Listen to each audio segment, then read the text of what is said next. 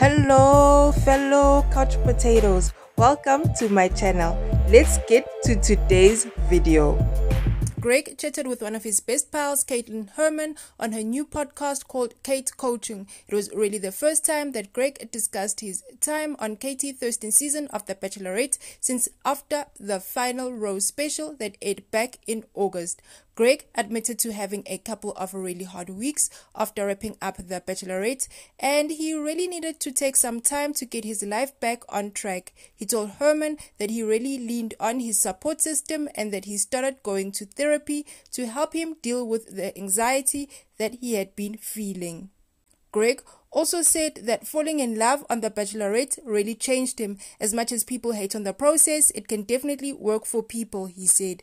Getting into deep conversations with Caitlin due to the limited time was a big change for Grippo. It was really eye opening to him. Honestly, that's what I really appreciated about the whole process letting someone into his life and having them meet the most important people in his life without the physical aspect coming into play my god, yeah, what? I had no idea what I was walking into.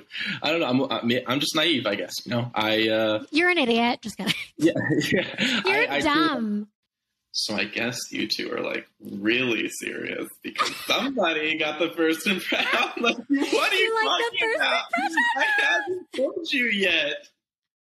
Hey, Couch Potato, thank you so much for watching. Don't forget to like and subscribe. See you soon.